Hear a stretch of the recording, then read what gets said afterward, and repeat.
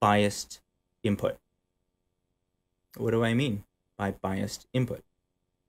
This is a very important uh, concept. Uh, Terence uh, Sheehan described three different examples of AI bias. First, US healthcare used a healthcare cost history to determine who needed extra medical care. This had the effect of favoring white patients over black patients because they had a higher healthcare cost history, which is really just a way of saying they just spent more on healthcare. So therefore, the system would recommend that white patients take more treatment than black patients. This is this is the reality. Um, the U.S. court system, the used a correctional offender management profile for alternative sanctions, or uh, COMPAS for short. Uh, the system was used. It used historical data to determine who would likely become a repeat offender. The model predicted that black offenders were twice as likely to commit future crimes than their white counterparts. So the algorithm was had that bias built in because that's the bias wasn't I'll, I'll talk about this in a bit. Amazon, it had hiring algorithm. It used historical data to determine who to hire. And since more men were hired in the past, it tended to favor men. You know, all the three of these examples. Uh, let's see, maybe I'll switch to this one. So, all three of these examples, they showed how bias can be present in the data to begin with. Right? So, if you start with data that has the bias built in, like historical information, that bias, when you train an AI on it, will contain those same biases. This is a very important concept because AI, it doesn't think critically about the data that it's being fed, right? That's that's our job. And so if you train the AI which contains this biased information, you will get biased results on the other end you know, the AI is not trying to be cruel, um, but it's trained with data that comes with embedded bias. So, what do I mean by by that? So, mm, let me just double check the comments here. Okay, yeah. It listens to say the unconscious milliseconds we spend browsing social media feeds. Um, like we, in terms of browsing, we, we browse the height of the Statue of Liberty every single day with our thumbs. Our fight or flight response causes our thumbs to scroll away from things that scare us and react in anger and outrage uh, online. Now, the healthcare, justice, and worker examples are just the tip of the iceberg. You really start to see the power of these organizations when their AI is systematically tested for bias. So, do you want to know the paper that got Timnit Gebru fired from Google? Yes? Pop yes in the comments.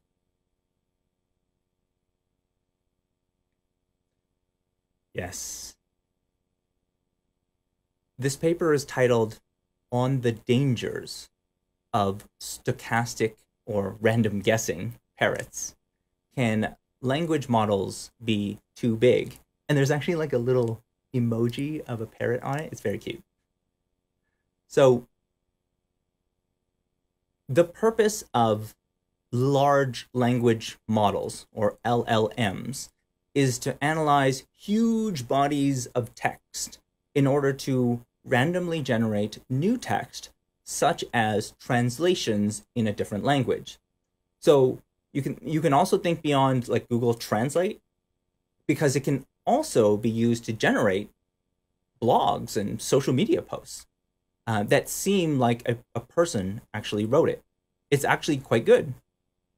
Um, so, for example, college student Liam Porr used OpenAI's GPT-3 language generator to create a, a daily random AI generated self help blog uh, from a series of carefully selected titles. Uh, the AI was trained from a language model of thousands of self help blogs. And good news, it went viral. People liked what they saw. Tens of thousands watched, liked, and commented on the daily posts. Many of the posts read like a typical self help blog, but sometimes the structure was a bit odd and sometimes the main message didn't make any sense. Yet only three of the tens of thousands critical thinkers ever questioned if the blog was made by a real person. And guess what? Those comments, ah, this thing can't be real. They were quickly downvoted. Quickly downvoted. Can I please post a link to this paper? Uh, asks Aluna. 100%. Um, I have references for everything, and what I'll do is uh, I'll just send a like a reply to yours right away. Uh, therefore, you have it. I will make a, a separate blog post about this as well. Uh, but thank you for your question. Absolutely, I will. Now, can you imagine an AI like this being used to quickly generate misinformation? I mentioned in a previous live stream that Section 230 Safe Harbor discourages companies from moderating content. So imagine your social media feed flooded with what looks like legitimate news articles powered by a bot army of AI generated extreme news. It's happening. It happens. Even incorrect translations can also cause harm when they're connected with uh, law enforcement. So, for example, in 2017, Facebook mistranslated a Palestinian man's good morning post to the Hebrew attack them, leading to his arrest. So let's go back to Gebru and her team that showed that these large language models consume one a lot of energy. One model uh, training for one model is the equivalent to the lifetime carbon emissions of five cars. She also showed that ai trained with large bodies of text often contain racist or sexist language in their training input. The input itself has the bias built in. Me Too and Black Lives Matter has tried to establish a new anti sexist and anti racist vocabulary. But AI trained to manipulate language rather than understand it will always contain the biases of everyone on the internet rather than the voice of a vocal few. A 2020 paper on Google's translation and large text query engine, BERT, showed that BERT tended to associate phrases referring to disabilities such as cerebral palsy or blindness with negative language. So, what happened? What happened with this paper? Well, Timnit was fired from Google after rejecting a manager's request to retract or remove her name from the paper. Uh, later, uh, Google's head of research stated that the paper failed to cite research on making more efficient language models and ways to mitigate bias.